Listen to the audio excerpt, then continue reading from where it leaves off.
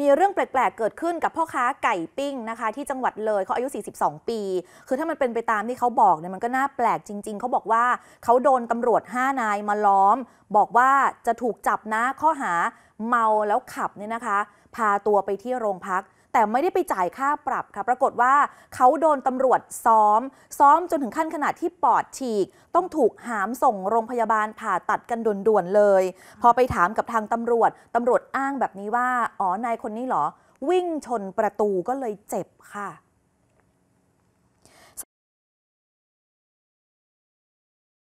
อ้างว่าถูกตำรวจค่ะสพหนองหิน จังหวัดเลย 5 นายด้วยกัน รุมทำร้ายร่างกาย หลังจากเข้าจับกลุมตัว เขาบอกว่าเขาโดนจับข้อหาเมาแล้วขับนะคะ คือนอกจากจะได้รับบาดเจ็บหนักขนาดนี้แล้ว มีของมีค่าที่ติดตัวเขาวันนั้นด้วย ซึ่งก็คือทอง ทองรูปพรรณหนึ่งบาท มีเงินสด 1,000 บาท แต่มันหายไปค่ะ หายไปในช่วงที่เขาถูกควบคุมตัวอยู่ที่โรงพัก แล้วหลังจากถูกรุมทำร้ายร่างกาย จนเจ็บขนาดนี้แล้วในสันติอ้างว่าเขาถูกนำตัวมาทิ้งไว้ที่บ้าน เหตุการณ์เกิดขึ้น4ี่ทุ่มของวันที่ 28 มิถุนายนนะคะคุณสันติซึ่งเป็นคนเจ็บเนี่ยเขาบอกว่า เขาถูกตำรวจใส่กุญแจมือ เอาไปรุมทำร้ายที่โรงพักค่ะ แม้เขาจะยกมือไหว้แล้วก็ตาม ยกมือไหว้ขอโทษ ขอให้หยุดขอทุกอย่างขอชีวิตแล้วก็ตาม แต่ตำรวจไม่ยอมหยุดเลย ลองฟังผู้เสียหาย เล่าให้ฟังดูนะคะล็อกประตูตีเลยเตะครับ แล้วบัดนี้ไอเขาใส่กุญแจบ่ใส่กุญแจมือใส่กุญแจมือทั้งสองข้างเตะครับได้อ่าโอเคบ่เป็นหยัง อันนี้เขาล็อกกุญแจไอเขาล็อกเขาปิดห้องล็อกกุญแจตี ตีนานบ่ใส่เวลาโดนบ่โอ้ยถึงนกมือวายจะต้องใช้กับเบอร์สองเออบัดนี้อ่าไอได้ออกปากได้เอ่ยซื้อผู้ใดบ่บอกเอ้ยซื้อได้เกิดคุณหลานแกนเมียก็ว่าไปอยู่อ๋อร้านตำรวจแกนเตะบัดนี้เขาว่ายังไงบอกว่าบ่สุด หลังจากนั้นเป็นลูกชายค่ะ พาตัวคุณพ่อ ซึ่งก็คือในสันติเนี่ยไปที่โรงพยาบาล เขาบอกแบบนี้ ตอนที่ไปที่โรงพยาบาลเนี่ยมีเจ้าหน้าที่พยาบาลมาถามกับลูกชาย บอกพ่อเนี่ยเมามาหรือเปล่า ถ้าเมาเดี๋ยวจะแจ้งตำรวจจับนะ ตัวลูกชายก็เลยพาพ่อกลับบ้านค่ะ แล้วตอนเช้าก็เลยพาไปรักษาใหม่ คราวนี้แหละ เจ้าหน้าที่พาเข้าห้องฉุกเฉินเลยทันที เขาบอกว่าอัน เมามาหรือเปล่า เป็นอะไรมาบอก ผมก็เลยบอกว่าตำรวจตีมาครับแล้วเขาว่างไงเขาบอกว่า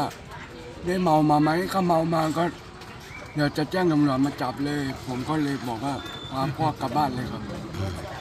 แล้วเขาก็ไม่รักษาพ่อเราเลย ครับ ผมก็พากลับมาบ้านเลยครับ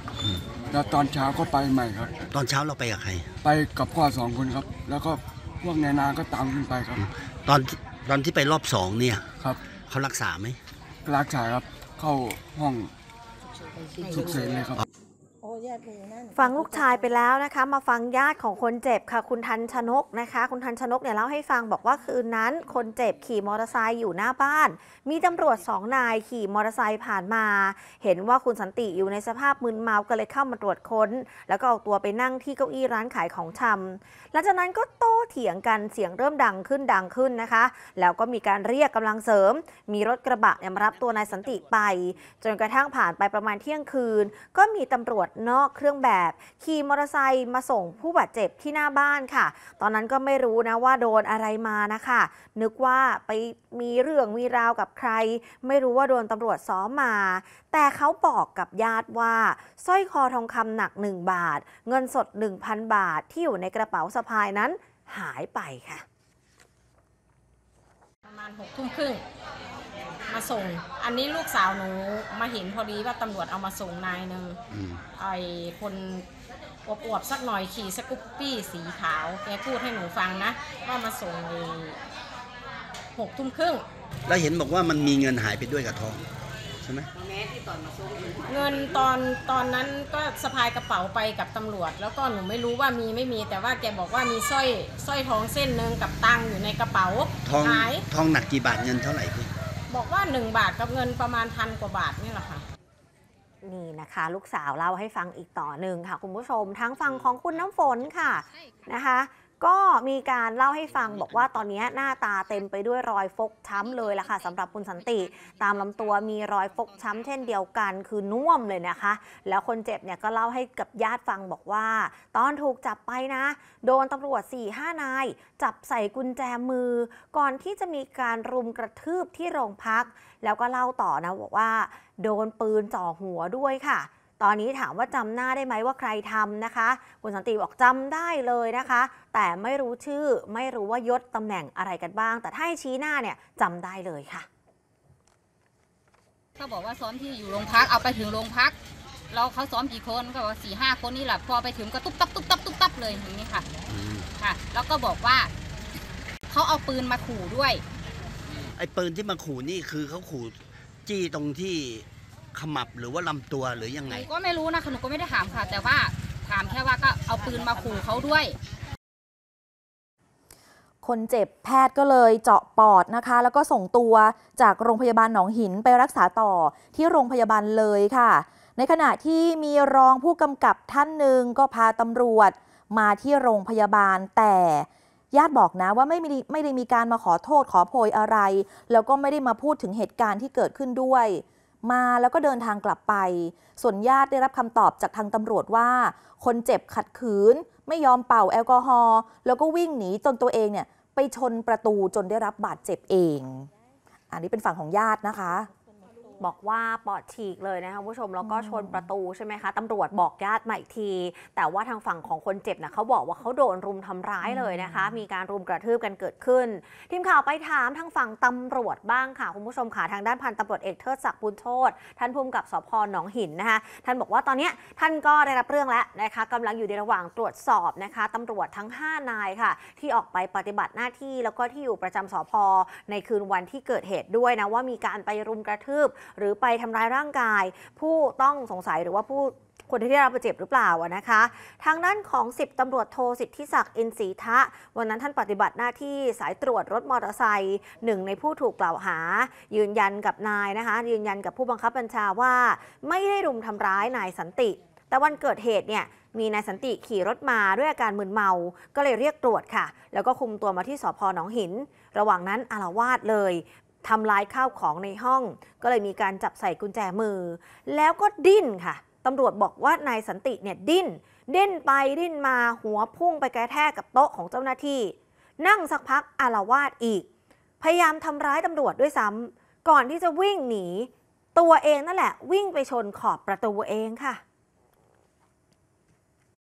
ตอนใส่เครื่องมือมาทางการเนี่ยพอจับกันลงปั๊บหัวเขาเบี่ยงเข้าไปตรงนี้ ตัวเบี่ยงเข้าไปในเนี้ครับมีเก้าอี้โต๊ะอยู่เนะครับอ๋อไปชนขอบนี้ใช่ไหมครับเนี่ยครับหัวพุ่งเข้าไปนี่ครับ อ่าครับ แล้วยังไงต่อครับ ทีนี้ก็จับเขาขึ้นมาใส่ใส่กุญแจมือแล้วนะครับ ก็นำตัวเขาไปนั่งที่เดิมครับไปนั่งที่เดิมปั๊บทีนี้มีอีกรอบหนึ่งครับ ต่อมานะครับเขานั่งสงบสติได้แป๊บนึงแล้วเขาก็เริ่มว่าแบบกระฟึดกระฟาดแบบไม่พอใจแล้วครับ ก็วิ่งมาถีบเจ้าหน้าที่ตำรวจที่ยืนเฝ้าประตูอยู่ตรงนี้ครับถีบแล้วเขาก็จะวิ่งจะวิ่งออกไปครับ แล้วหน้าเขาอะฟาดกับตรงวงกบวงกบประตูนี่ฟาดอยู่ตรงไหนครับ นี่ครับวงกบประตูอ๋อ ฟาดตรงนี้เลยนะ ใช่ครับ แบบวิ่งมาครับ แล้วหน้าฟาดครับ อืม แล้วก็ล้มหงายหลังลงไปเลย โอ้ขอบประตูแล้วเป็นขอบเหลี่ยมซะด้วยสิคะ ที่ตำรวจพยายามจะให้ดูนะคะ ทางด้านพันตำรวจเอกเทิดศักดิ์บุญโชตค่ะ ผู้กำกับสพหนองหินบอกว่า ตรวจสอบย้อนหลังไป คือเจ้าตัวเนี่ยบอกว่าเจอตำรวจจับเมาแล้วขับใน 28 ใช่ไหมคะ แต่พอสอบย้อนไปวันที่ 26 มิถุนายนนะคะตำรวจพบว่าในสันติไปรักษาตัวที่โรงพยาบาล แล้วให้ประวัติกับพยาบาลว่า โดนไม้ดีดฟาดใส่หัว ฟาดใส่ลำตัวด้านขวา แล้วก็ที่ไหล่ขวา มีแผลที่คิ้วขวาด้วย คือโดนฝั่งขวาของลำตัวนะคะ มีแผลฉีกขาด มีปวดบวมที่บริเวณไหล่ขวา แต่พอพยาบาลไปถามจากญาติ ญาติบอกว่าฝั่งของนายสันติที่เล่าไปบอกว่าไปโดนไม้ฟาดมาเนี่ยไม่เป็นความจริง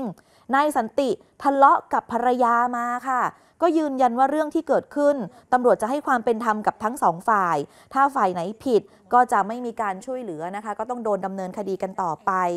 ถ้ากับว่าตอนนี้ก็เป็นการชี้แจงจากทั้งสองฝ่ายแล้ว